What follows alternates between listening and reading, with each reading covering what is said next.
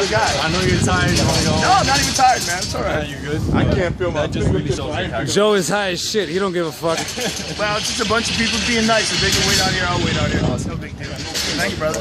Nice meeting, man. Thank you. Thank you.